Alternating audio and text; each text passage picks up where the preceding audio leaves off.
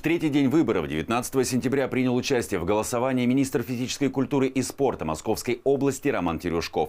Он отдал свой голос в Люберецком дворце культуры. Подробнее в нашем сюжете. В Люберецком дворце культуры голосуют жители Октябрьского проспекта и Волковской улицы. В последний день голосования поток избирателей увеличился. На нашем участке нарушений не выявлено за все эти три дня.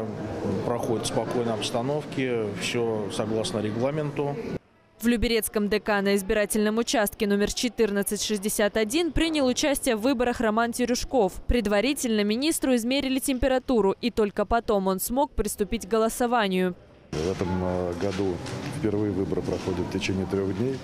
Это действительно очень э, хорошая практика, потому что у нас на территории большое количество предприятий с непрерывным циклом, и, конечно же, многие не имели такой возможности раньше проголосовать, прийти спокойно, без отрыва от производства. Большое количество наблюдателей это делает процедуру выборов прозрачной, легитимной, и поэтому я уверен, что результат э, будет тоже отличный.